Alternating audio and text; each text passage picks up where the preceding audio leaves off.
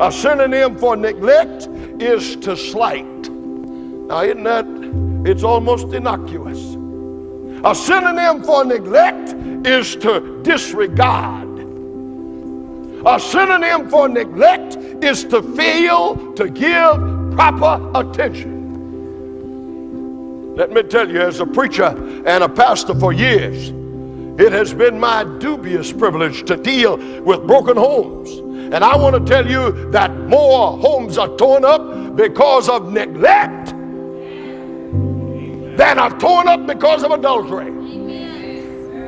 There are homes that are just misery. Nobody's fighting, nobody's cussing. They just don't give proper attention. And that's one of the synonyms for neglect.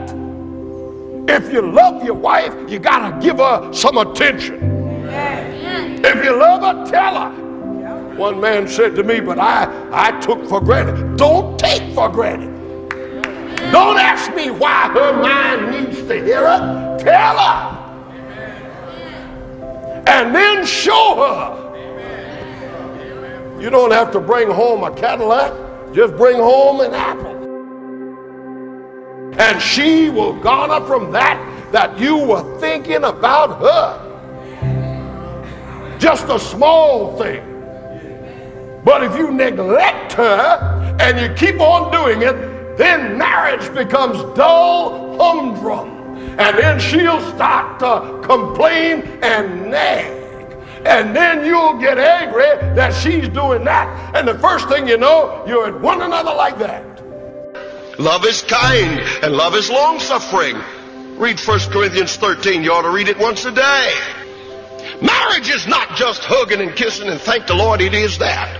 But it's also scrubbing floors and going off to work and cooking beans and washing diapers. And if you don't have love in a home like that, the tension would get you to yelling at one another. You're in trouble. So we've got to be wise and we've got to be intelligent. Men are getters and women are givers. They are the true lovers on earth. And many wives are starving for attention and affection. If you love her, tell her. Doesn't make you small, makes you 10 feet tall. You want happiness in your home, you got to begin with Jesus. Establish the family altar. Pray together. You cannot pray sincerely for your wife and cheat on her. You cannot pray for your wife and not appreciate what she does. Amen. Start with Christ. Oh, please take me seriously tonight. Women, don't nag your husbands. You only drive them away. If your if your uh, idea is to get attention, you're just going to defeat your own purpose. Then try to please one another. Do things together. Amen. If you got twin beds, save them for company. Sleep together. Wash dishes together. Walk together. Talk together. Pray together. Ride around together. And you need a sense of humor. Will you all pardon me if I take an extra five minutes tonight? You need a sense of humor. Don't take everything so seriously and don't explode over every little thing that happens. You can diffuse a bomb by laughter. There was a man who loved his wife, but he had a tough job and he came home uh, uptight. You know what that's like, don't you? And he would often say some things, and a little later on, when he relaxed, he was so sorry. So one day he said to his wife, honey, I really don't mean to do that. It's just that my boss is inconsiderate and the job is tough and nobody shows any appreciation and I get yelled at and I come home and take it out on you. He said, why don't we work out something? So this is what they agreed on. He said, when I have had a bad day and I come home, the minute I get out of that car and start up the walk, he said, if I'm in a bad mood, I'm going to take my hat and turn it around backwards. He said, now, if you look out the window and see that, don't start anything. Just give me a few minutes to get myself together and I'll be all right. Now that's intelligent. Wife said, all right, dear. But let me tell you something. Sometimes these children almost drive me up the wall. And the cake falls and the beans burn and everything I try to do works out wrong. Why should I be the present one all the time? So if you come home and I've got my apron around on the side, don't you start anything. It turned out that one day the man had a hard day at the office and he was coming home and he was full up to here and, and he came and got out of his car and he pulled his hat around and grabbed his briefcase and he started up the walk and that wife had had a rotten day too. And she wasn't for it. She took her apron and snatched it around on the side. And when he got to the door, she didn't even wait for him to reach. She snatched it open and there they stood. And you know what they did? Just what you're doing. They both started to laugh and the crisis was gone. Develop a sense of humor in your home. Now I got to give you one more. Have eyes only for her, gentlemen. Lady wrote me a note once and said, when I walk with my husband, he embarrasses me. Everybody that passes, he's looking.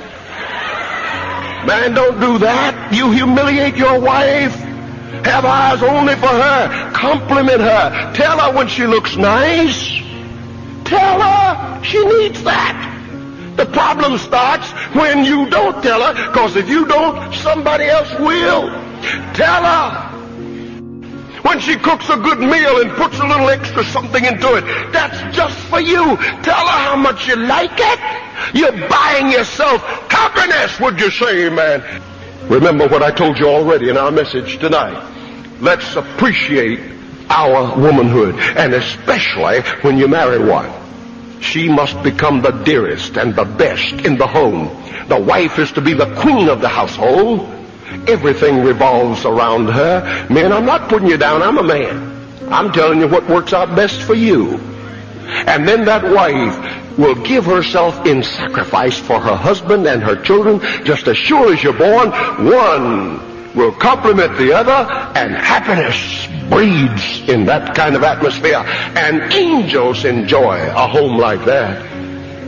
Oh, ladies and gentlemen, the Bible tells us in Matthew chapter 12 and verse 37 that by our words, excuse me, we're going to be judged. And in Malachi 2.16, in the Moffatt translation, God says, I detest cruelty to a wife. And you can do it without hitting her the wrong words all the time and always abusing her with words can drive her to the doctor and to the hospital. It is a fact, beloved. Theory is important, but piety and practice is more important.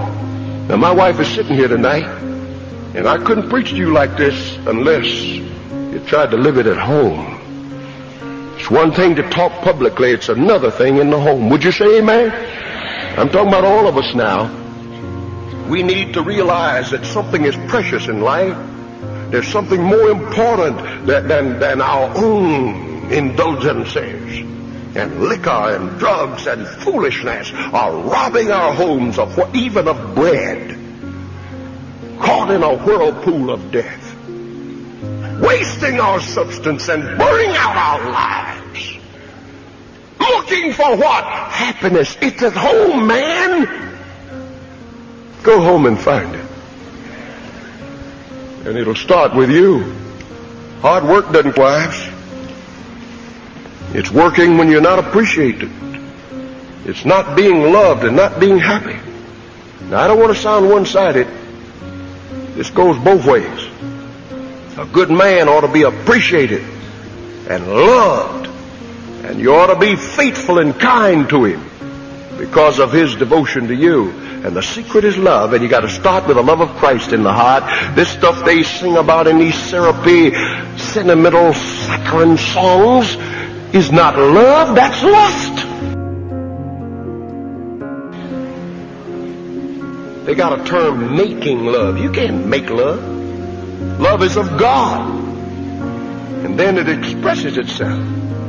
And I want to tell you something. In my years as a pastor, I've counseled thousands of couples, and the biggest problem is not adultery. It's not fighting. It's not even cursing. The biggest problem I face is where two people live together. They don't plan to separate. They don't cuss one another. They don't even cheat on one another.